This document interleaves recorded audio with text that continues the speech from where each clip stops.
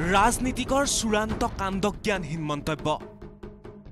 চৌদিশে ধিক্কাৰ গৰিহণা কাৰ্বি আংলঙৰ ডকমকাত সংঘটিত হোৱা নাৰকীয় ঘটনাৰ পিছত উপায়ুক্ত মৃদুল মহন্তৰ ভাষ্যক লৈ সকলোৱে ধিক্কাৰ দিয়াৰ পিছত এইবাৰ দুগৰাকীকৈ মন্ত্ৰীৰ মুখত উদ্ভট মন্তব্য। ডিচি ডাঙৰীয়া ঠিকে কৈছে।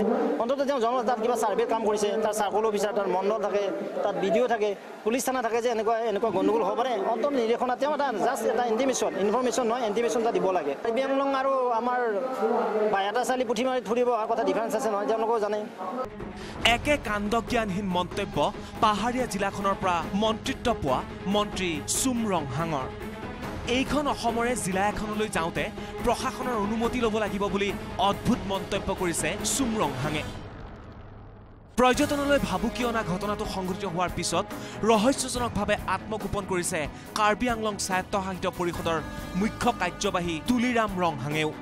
জনপ্ৰতিনিধিৰ মুখত অগ্ৰহণযোগ্য অকৰ্তৃত্বশীল মন্তব্যবোৰ শুনি সেয়েহে সকলোৱে দিছে ধিক্কাৰ গৰিহণা অগপৰ বিধায়ক ৰমেন্দ্ৰ নাৰায়ণ কলিতাৰ প্ৰশাসনলৈ প্ৰশ্ন। যদি কিবা নিৰ্দেশনা আছিল ক'ত আৰু কেতিয়া দিছিল ৰাজহুৱা কৰক?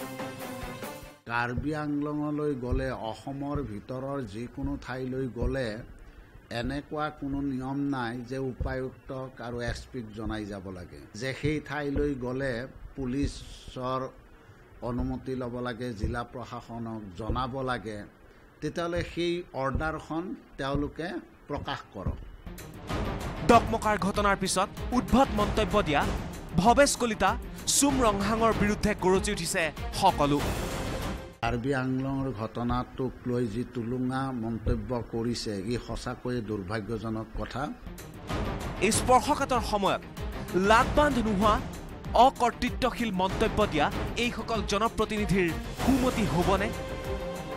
Bureau report news eighteen Assam north east.